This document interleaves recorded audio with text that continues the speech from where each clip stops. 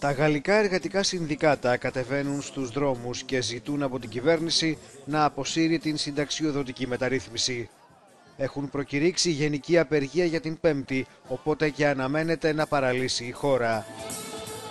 Ήδη στη Μασαλία εργάτες διαδηλώνουν, κρατώντας πυρσούς και φωνάζοντας συνθήματα κατά του Μακρόν. Η κυβέρνηση θέλει να αυξήσει την ελάχιστη ηλικία συνταξιοδότησης από τα 62 στα 64 έτη και να καταργήσει τα περισσότερα από τα ισχύοντα ειδικά καθεστώτα. Ο αριθμός των εργαζομένων σε σύγκριση με τον αριθμό των συνταξιούχων μειώνεται. Το 2005 υπήρχαν δύο εργαζόμενοι για κάθε ένα συνταξιούχο. Σήμερα είναι 1,7 και αύριο θα είναι 1,5. Πρέπει λοιπόν να αποκαταστήσουμε την ισορροπία του συνταξιοδοτικού συστήματος. Η Πρωθυπουργός ζητεί την στήριξη των βουλευτών και σημειώνει πως η μεταρρύθμιση ήταν στο εκλογικό πρόγραμμα με το οποίο επανεξελέγει ο Μακρόν.